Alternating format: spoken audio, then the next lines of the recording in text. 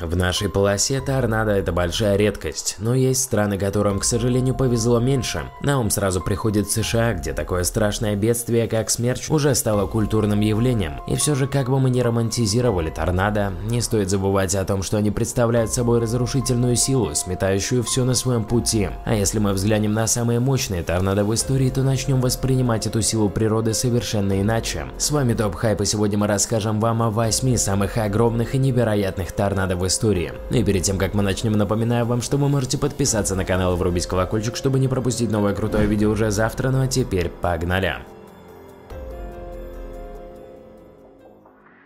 Торнадо-чудовище в юго-западном районе штата Оклахома, США, смерти случаются чаще, чем где-либо в мире. Здесь широкие слои теплого воздуха с Мексиканского залива сталкиваются с холодными воздушными массами из Канады. А это очень опасное сочетание. Если нижний слой, поднимаясь, сталкивается с холодным воздухом, возникает мощный обратный поток теплого влажного воздуха. Идут сильные ливни и град. Если же циркуляция достаточно сильна, а снаружи дуют сильные ветры, то начинается вращение воздушного потока и формируется эпицентр в котором возникает торнадо. Обычно смерчи живут всего 5-10 минут, но бывают и исключения. Самый разрушительный торнадо в истории 20 века, обрушившийся 3 мая 1999 года на американский город Оклахома-Сити, буйствовал целых полтора часа. Но как это ни парадоксально, смерч, названный метеорологами чудовищем, принес человечеству и колоссальную пользу. Тогда ученым впервые удалось засечь радаром момент его зарождения. В итоге население было предупреждено о надвигающейся катастрофе катастрофе и число жертв исчислялось десятками, а не тысячами людей, как это бывает в других подобных случаях. Обычно грозы с таким эпицентром образуют торнадо в течение часа, однако приборы показали, что на этот раз хватило нескольких минут. В 4.48 утра глубина эпицентра достигала 10 километров. Он накрыл весь район ливнем и градом. Метеорологи дали вместо предупреждения сигнал тревоги и правильно сделали, ведь уже спустя 11 минут после сигнала под облаком начала образовываться воронка. Появились один торнадо за другим, но все они были слабыми и недолгими. Эпицентр словно разогревался и готовился образовать гигантский торнадо.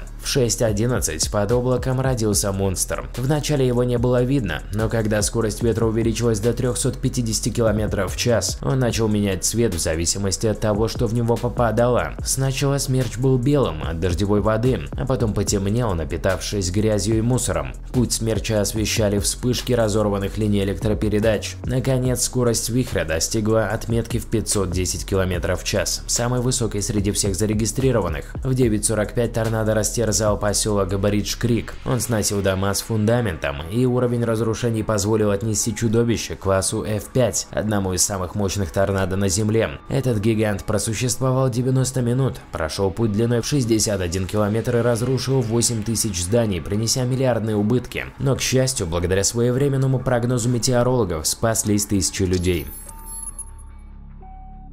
Мощный смерч в Оклахоме в 2013 году Оклахома – это штат в США, который располагается в зоне, имеющей неофициальное название Алия Торнадо. Алия Торнадо – это термин, обозначающий территории США, в которых наблюдается наибольшее количество торнадо. Одни из самых крупных смерчей были зафиксированы в Оклахоме во время серии торнадо во второй половине мая 2013 года. 20 мая смерч сформировался около южного пригорода – Оклахома-Сити, городе Мур. Скорость ветра внутри воронки смерча достигала 320 км в час, а диаметр диаметр 3 километра. Согласно шкале Фудзиты, также известной как шкала Фудзиты Персона или F-шкала, созданной для классификации смерчей, этому торнадо была присвоена максимальная категория опасности F5. При такой категории сила ветра настолько велика, что без труда срывает с фундамента прочные дома и переносит их на значительные расстояния. Вдобавок, такие ветра срывают асфальт, переносят тяжелые автомобили на расстоянии более 100 метров, а также наносят серьезные повреждения небоскребам и железобетонным постройкам веком. Мощная сила торнадо оставила за собой шлейф разрушений в Муре, Ньюкасле и южной части Оклахома-Сити протяженностью порядка 27 километров. В частности, торнадо уничтожил две школы, а также больницу. Предварительный ущерб от стихийного бедствия был оценен в 3 миллиарда долларов.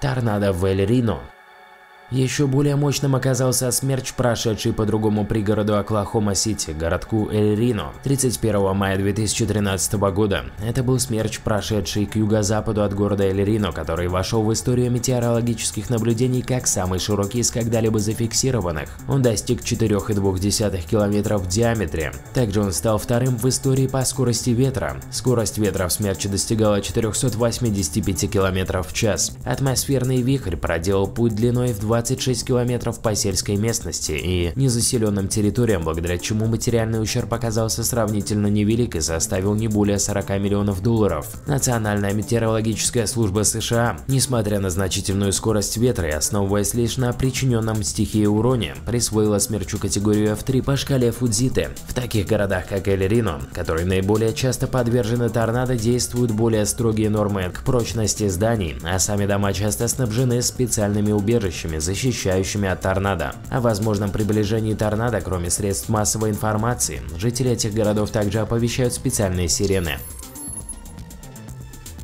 Торнадо в Уичито Фоллс Согласно статистике, проводимой Национальным центром климатических данных США, наибольшее количество торнадо приходится на штат Техас. Первоочередной причиной тому является большая территория штата. Второе и третье места занимают соответственно штаты Канзас и Оклахома. Самый мощный смерч, имевший просто невероятную скорость ветра и занесенный в Книгу рекордов Гиннесса, был зафиксирован 2 апреля 1958 года в США в городке Уичито Фоллс, штата Техас. Максимальная скорость ветра составила 4 450 км в час. Городок, по которому прошелся торнадо, был полностью разрушен. Смерч поднимал воздух дома и ехал по улицам, словно огромный каток. Вещи, которые он своровал, впоследствии можно было отыскать на огромном расстоянии в Уичито Фоллс. От этого смерча пострадало более 100 человек, а ущерб стихийного бедствия составил более 15 миллионов долларов.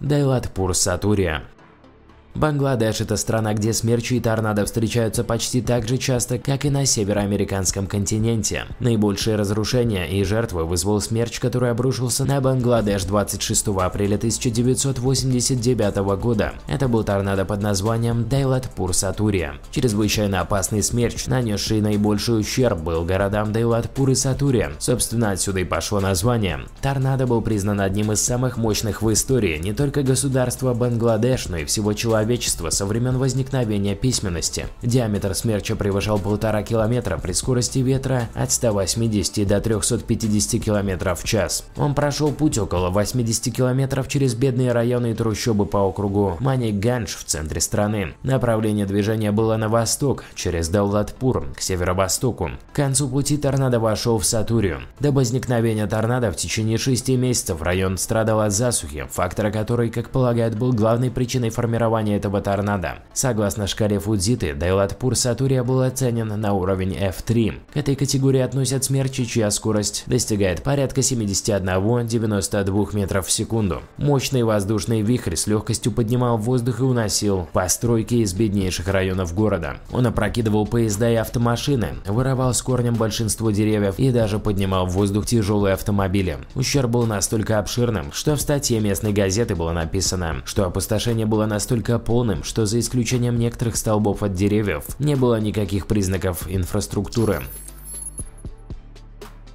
Торнадо в Бангладеш в 1969 году. Эта драма разыгралась в 1969 году, когда Дака с окружающими землями была еще восточной частью Пакистана. Смерч обрушился на северо-восточные окраины Дакки, пройдясь по густонаселенным районам. В этот раз пострадало более 4,5 тысяч человек, поскольку по здешним местам ударили сразу два смерча. Оба смерча двигались по разным маршрутам, хоть и были следствием одного шторма. Они зародились в мощных грозовых тучах. В таких облаках неминуемо возникает вращение воздуха из-за сильнейших восходящих движений, охватывающих переднюю часть облака. Когда воздушные течения сходятся к одной точке, всегда формируется вращение, подобно воронке в сливном отверстии раковины. Вихревое движение в грозовом облаке постепенно передается нижним слоям воздуха, так и зарождается торнадо. Торнадо Тупело, Гейнсвилл, 1936 года. Мощнейший торнадо получил категорию F5. Точное количество ущерба так и не удалось установить. В начале стихия ударила по городу Тупело. Это произошло 5 апреля 1936 года. Этот торнадо получил известность не только благодаря своей мощи и разрушительной силе, но и благодаря тому, что во время стихии выжил мальчик. В прессе позже написали, что миру повезло, что в таком кромешном аду выжил один годовалый ребенок, которого потом мы узнаем под именем Элвис Пресли. Штат насчитал убытков на 13 миллионов долларов. Сегодня эта цифра равнялась бы примерно 200 миллионам. Надеюсь, что вам было интересно. Если так, то ставьте лайк под этим видео, подписывайтесь на канал и врубайте колокольчик, чтобы не пропустить новое познавательное видео уже завтра. Спасибо за просмотр.